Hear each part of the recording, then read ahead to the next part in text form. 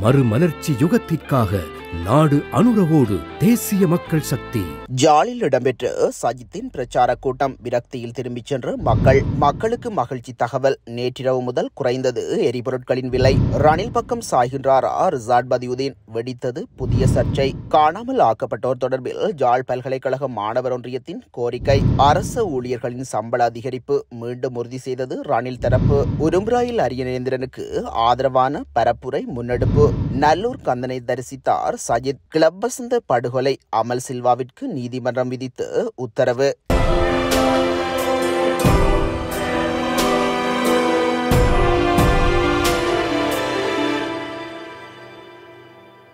ஜாழ்ப்பாணத்தில் ஏற்பாடு செய்யப்பட்டிருந்த தேர்தல் பிரச்சார கூட்டத்திற்கு எதிர்க்கட்சித் தலைவர் சஜித் பிரேமதாஸ் ஒரு மணி நேரத்திற்கு மேல் தாமதமாக சென்றமையால் மக்கள் சிலர் திரும்பிச் சென்றுள்ளனர். குறித்து தேர்தல் பிரச்சார கூட்டமானது நேற்றைய தினம் முப்பத்தி ஒன்று எட்டு ரெண்டாயிரத்தி இருபத்தி நான்கு பிற்பகல் மூன்று முப்பது மணியளவில் நடத்தும் வகையில் ஜாழ்ப்பாணம் துணவி விளையாட்டு மைதானம் ஒன்றில் ஏற்பாடு செய்யப்பட்டிருந்தது. இதற்கமைய மக்கள் கூட்டத்திற்கு வருகை தந்திருந்ததுடன் பேருந்து மூலமும் மக்கள் அந்த இடத்திற்கு அழைத்து வரப்பட்டிருந்தனர். இருப்பினும் எதிர்க்கட்சித் தலைவர் சஜித் கூட்டம் ஏற்பாடு செய்யப்பட்ட நேரத்தினை தாண்டி ஒரு மணி நேரம் கடந்த பின்னரும் வருகை தரவில்லை. இதன் காரணமாக மக்கள் களைப்படைந்து விரக்தியில் இருந்ததுடன் சிலர் கூட்டத்தில் கலந்து கொள்ளாது திரும்பிச் சென்றதையும் அவதானிக்க முடிந்துள்ளது. மாதாந்த விலை சூத்திரத்தின்படி நேற்று நள்ளிரவு முதல் நடைமுறைக்கு வரும் வகையில் எரிபொருளின் விலையை திருத்தியமைக்க இலங்கை பெட்ரோலிய சட்டபூர்வ கூட்டுத்தாபனம் தீர்மானித்துள்ளது. இதன்படி ஒக்டேன் தொன்னூற்றி இரண்டு பெட்ரோல் லீட்டர் ஒன்றின் விலை பனிரெண்டு ரூபாவினால் குறைந்துள்ளதுடன் அதன் புதிய விலை முன்னூற்றி முப்பத்தி ரெண்டு ரூபாவாகும். தொன்னூற்றி ஐந்து ஒக்டேன் பெட்ரோலின் விலை இரண்டு ரூபாவினால் குறைக்கப்பட்டுள்ளதுடன் அதன் புதிய விலை முன்னூற்றி எழுபத்து ஏழு ரூபாவாகும்.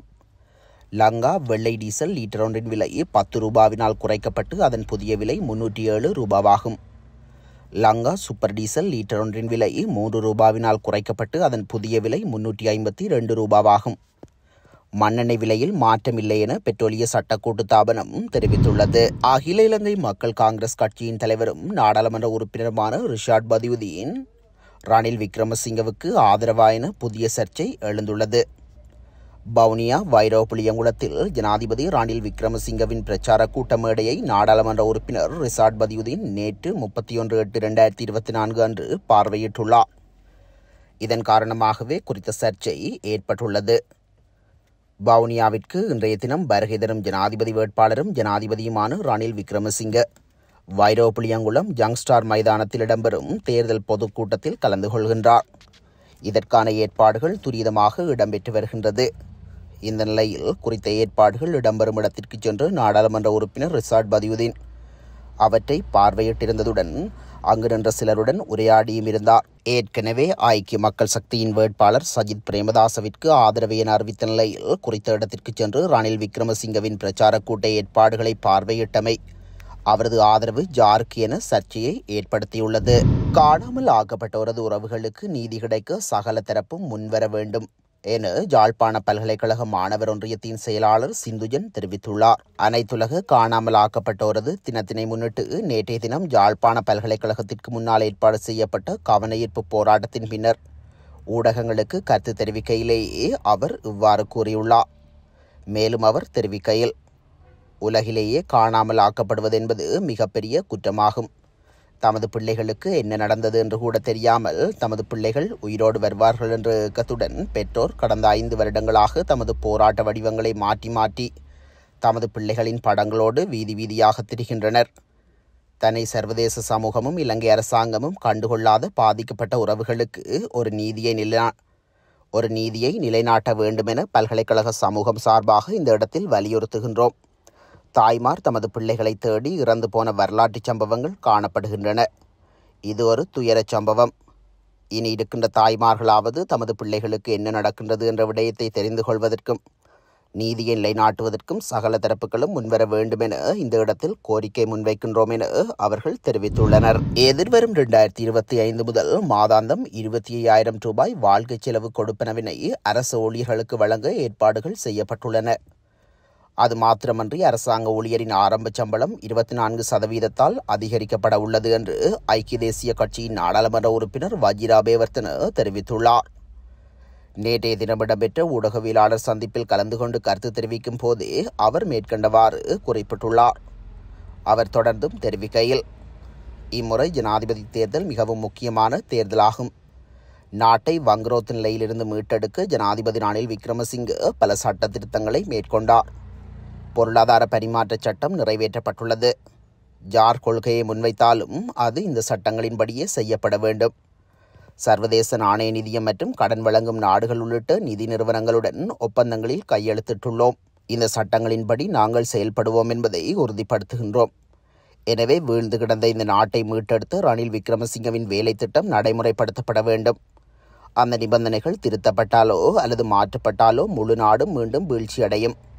எனவே எதிர்வரும் ஜனாதிபதி தேர்தலில் பதினைந்து லட்சத்துக்கும் அதிகமான அரச ஊழியர்கள் தபால் மூல வாக்களிப்பை பயன்படுத்தும் போது சரியான முடிவை எடுக்க வேண்டும். சிலர் திருடர்களை பிடிக்க அதிகாரம் கேட்கின்றார்கள். ஆனால் இனிமேல் அவன் திருட இவன் திருடன் என கூறிக்கொண்டிருக்க வேண்டிய அவசியமில்லை. ஆசியாவிலேயே மிகவும் சக்தி வாய்ந்த ஊழலுக்கு எதிரான சட்டம் நாடாளுமன்றத்தில் ஜனாதிபதியால் நிறைவேற்றப்பட்டுள்ளது என மேலும் தெரிய வந்துள்ளது நடைபெறவிருக்கும் ஜனாதிபதி தேர்தலில் சங்கு சின்னத்தில் போட்டியிடுகின்ற தமிழ் பொது வேட்பாளர் பாரியநேந்திரனுக்கு ஆதரவான பரப்புரை ஜாழ்ப்பாணத்தில் முன்னெடுக்கப்பட்டுள்ளது. குறித்த பரப்புரை முப்பத்தி ஒன்று எட்டு ரெண்டாயிரத்தி இருபத்தி நான்கு நேற்று காலை பத்து மணியளவில் உரும்பிராயில் பொன் சிவகுமாரனின் நினைவுச்சிலை முன்னிலையில் சுடரேற்றி ஆரம்பிக்கப்பட்டுள்ளது. சமூக விஞ்ஞான ஆய்வு மையம் உட்பட பல பொது அமைப்புகள் சேர்ந்து குறித்த பரப்புரையில் ஈடுபட்டுக் கொண்டிருக்கின்றனர். இந்த நிலையில் அரசியல் ஆய்வாளர் சட்டத்திரணி சி. ஏ. ஜோதிலிங்கம் ஜோதிலிங்கம் தலைமையில் பல அணிகளாக பரப்புரை இடம்பெற்று வருகின்றமை குறிப்பிடத்தக்கது. எதிர்க்கட்சி தலைவரும் ஜனாதிபதி வேட்பாளருமான சஜித் பிரேமதாஸ் நல்லூர் ஆலயத்திற்கு சென்று வழிபாட்டில் ஈடுபட்டுள்ளார். ஜாழ்ப்பாணத்திற்கு இரண்டு நாள் விஜயம் மேற்கொண்டுள்ள அவர் நேற்றைய தினம் நல்லூர் ஆலயத்திற்கு சென்றுள்ளார். ஜாழ்ப்பாணத்திற்கு விஜயம் மேற்கொண்டுள்ள அவர் சனிக்கிழமை மற்றும் ஞாயிற்றுக்கிழமை ஆகிய இரு தினங்களில் பல்வேறு தரப்பினருடன் பேச்சுவார்த்தைகளில் ஈடுபட உள்ளார்.